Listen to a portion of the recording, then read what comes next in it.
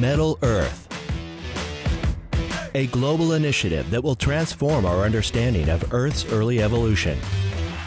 Led by the Mineral Exploration Research Center, a part of the Harquail School of Earth Sciences at Laurentian University, the research will directly translate into improving the science for targeting and finding new ore bodies.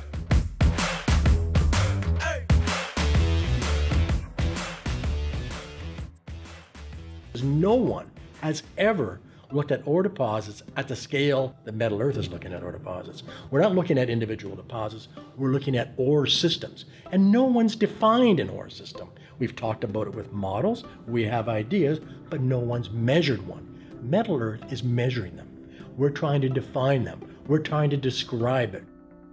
So Metal Earth is really focused on the Superior Craton at this stage of our research, uh, mainly within the Abitibi and Wabigoon subprovinces.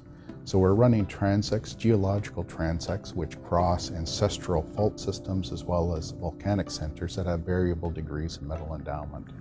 This includes the Chibougamau transect, Malartic, Noranda, Larder Lake, Cobalt, Matheson, and Swayze, all within the Abitibi, as well as in the Wabigoon in Western Ontario. We're working in the Geraldton Onaman transect, Dryden, Sturgeon River, as well as Rainy River.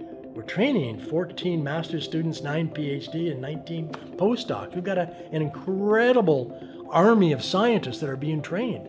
So we, have far and exceeded what of our initial, initial expectations. We've got the MT survey done, the seismic survey done. We started the Craton scale research.